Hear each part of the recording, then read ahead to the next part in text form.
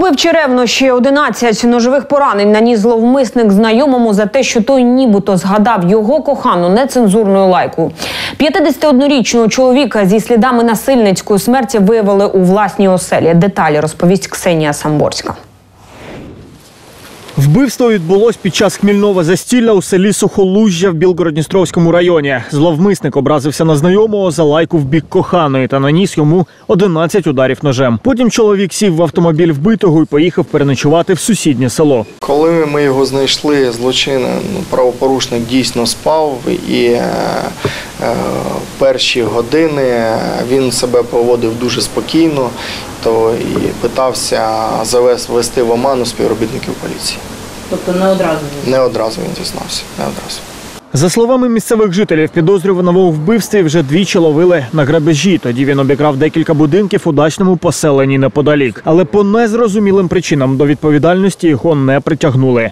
Ну, как бы при нас это было. Они взяли у них отпечатки пальцев, откатали пальчики, забрали паспорт, э, и все, как бы они его не забирали.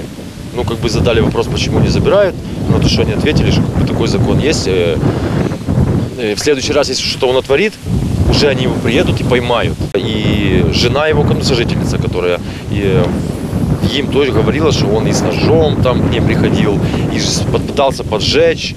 Вот, ну, как бы ни, никаких действий как бы с правоохранительными органами они не, не были.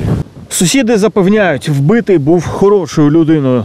трудолюбивий, роботящий, чистоплотний, завжди його чистенького бачиш. Що ж могло стати? Городом займався, теплицями, на базар здавав, картошку, огурчики. Він не п'яниця, не алкоголік. У п'яниці в алкоголіках город не сіяв би. І чистенький не ходив би. Ми так з ними по-хорошому, що жінка вмерла в його раніше. Ми були так по сусідству по-хорошому, дружили з ними. Так і осталось і з ним, так іде, і здрастуйте, і привіт, і як діла, все. Він такий був мужчина, безвредний, дуже хороша людина. Слідчі підозрюють правопорушника одразу за двома статтями Кримінального кодексу України: умисне вбивство та незаконне заволодіння транспортним засобом. Зараз зловмисник знаходиться під вартою. Олександр Полуєв, Ксенія Самборська, Костянтин Лужневський, сьомий канал.